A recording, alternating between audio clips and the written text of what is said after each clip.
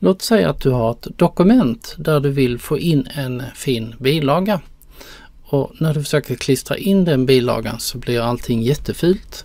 Så att det ser inte alls ut som din bilaga. Det finns ett trick för att lösa det här.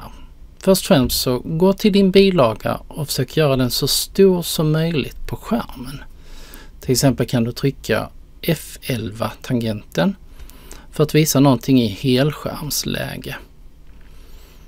I alla fall, försök få den så stor som möjligt. Och sen så håller du ner Shift samtidigt som du trycker eller håller ner Windows-tangenten och så trycker du på S.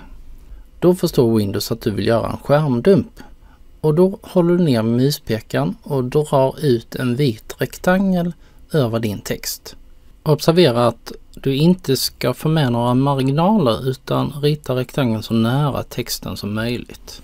Och när du nu har gjort detta så kommer allting att kopieras som en bild. Och då kan du gå tillbaka till ditt dokument, skaffa dig en ny sida och ställa markören längst ut till vänster. Och sen så håller du ner Ctrl och trycker på V, alltså Ctrl V för att klistra in. Då kommer bilden att komma in i ditt dokument på det här sättet. Och till sist kan du då justera storleken genom att dra i ett hörn, för nu är det ju en bild. Observera att eftersom det är en bild så kan du inte heller ändra texten i bilagan i ditt dokument. Så behåll bilagan som original också vid sidan om ifall det skulle behövas. Lycka till!